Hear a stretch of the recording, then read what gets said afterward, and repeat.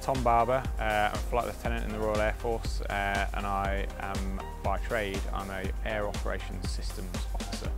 um, but currently enjoying uh, a bit of, bit of sabbatical from a primary role um, as part of the RAF's Elite Athlete uh, status scheme uh, in which I'm training full time in a bid to try and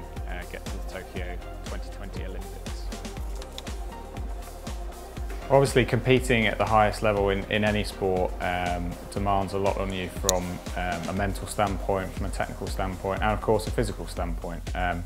the physical preparation that I do um, helps to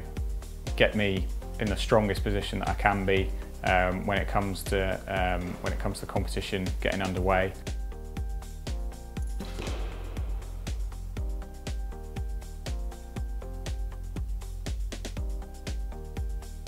My sport is target archery. I've been competing in archery most of my life now and for the last three years that's been at the elite level competing for the Great Britain archery team at international events,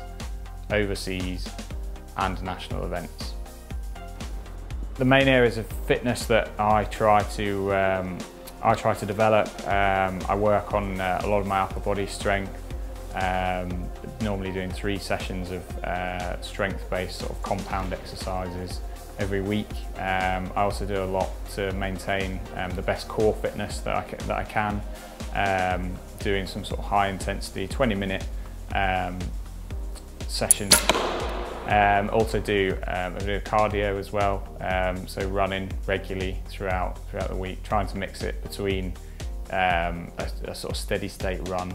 of um, 20 to sort of 30 minutes uh, and the occasional like uh, sprint interval session um, just for a bit of variety really um, and developing that all-round sort of aerobic fitness.